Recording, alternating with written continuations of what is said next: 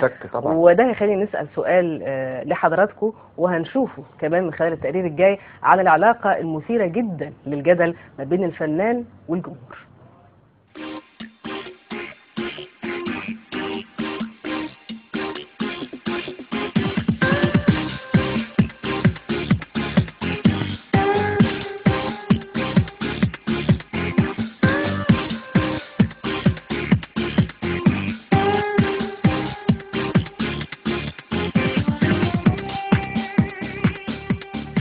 التواصل من خلال الأعمال الفنية المختلفة هو عنوان العلاقة بين الفنان والجمهور.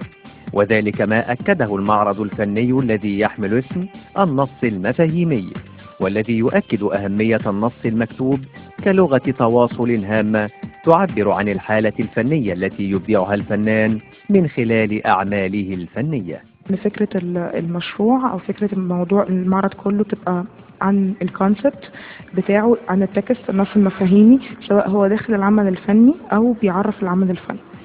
بس وحاولنا إن إحنا نختار المشاريع دي إن ال quality بتاعتها تبقى عالية جدا ال conceptual بتاعها أو المفاهيمية بتاعتها تبقى عالية كمان.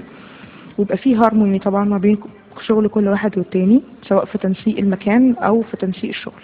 إيه، أنا كان تم اعتقالي في الثورة آه، أثناء الثورة وحبيت أنقل التجربة اللي حصلت لي دي كاملة في المعرض إيه، عن طريق ال- النص اللي هو التيمة الرئيسية للمعرض. أنا كنت وأنا هناك كنت بسجل كل حاجة بشوفها أي حاجة إيه، بتحصل قدامي أي أي محادثات تحصل بيني وبين أي حد هناك سجلت ده كله وحبيت أحطه في الشغل بتاعي عن طريق إن أنا اشتغلت عن طريق فوتوغرافيا عن طريق video art كل ده حبيت أحط ال text والنص اللي أنا كتبته جوه على الشغل. فهو ادى للشغل قيمة عالية وفهم ال- ال- الجمهور إيه، أو المتلقي ال- ال- الحالة الحالة اللي أنا عديت بيها أو مريت بيها. بالنسبة لفن الفيديو آه، ممكن نص ما يبقاش